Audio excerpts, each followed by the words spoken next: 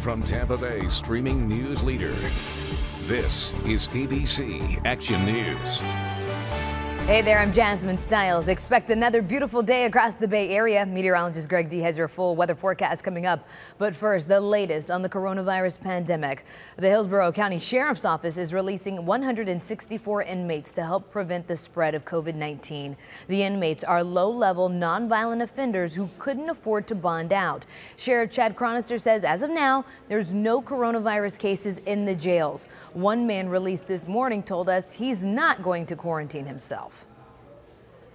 I'm still going to do what I need to do to live a normal life. Uh, it, I'm not going to stay away from people because of something like that. Uh, I don't think I'll catch it. The sheriff says releasing the inmates allows them to practice social distancing at home and let them help their families.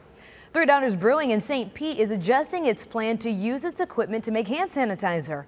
Hundreds of people showed up trying to get some. The head of Three Daughters is asking you not to come by the brewery. They're giving the hand sanitizer to charities, not the public.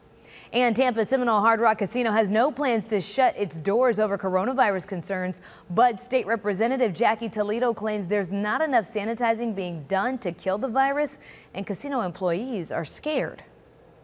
In a casino, patrons have to touch screens, they touch money, they touch chips, and they touch tables. They are encouraging the spread of this virus.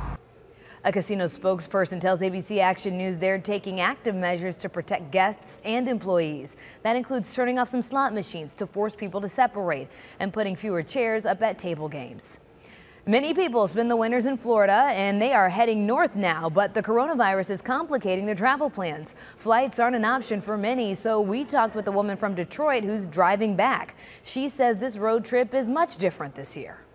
I think coming north has been quite heavy. My husband just bought me a Coca-Cola at the gas station and first thing we did was wipe it down and then wipe his hands. She told us she's glad to be going back home so she's near her doctor if anything should happen.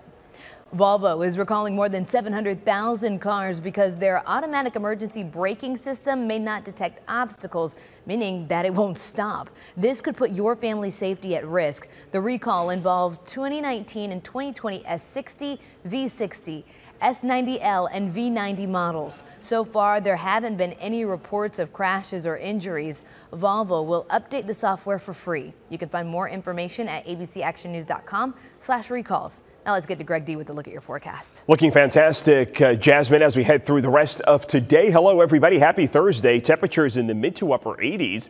Now, east of 75, we'll be setting records near 90 degrees. I know you're already looking forward to the weekend, and it looks fantastic. Saturday and Sunday, maybe a touch cooler. We'll still be in the 80s, well above normal, but maybe the low to mid 80s versus record setting temperatures closer to 90 degrees. You can always get that latest forecast by downloading the ABC Action News app. Jasmine. Thanks, Greg. Now you can get your news 24 hours a day on our free streaming news channel. Just download the ABC Action News app on Roku, Amazon Fire TV, Android TV, and Apple TV.